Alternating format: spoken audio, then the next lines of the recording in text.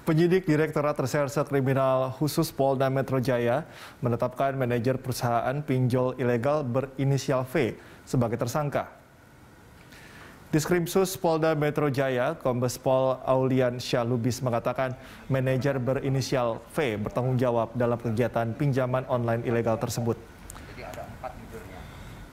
V dijerat dengan Undang-Undang Nomor 7 Tahun 2014 tentang perdagangan dengan ancaman hukuman 12 tahun penjara dan atau denda maksimal 12 miliar rupiah.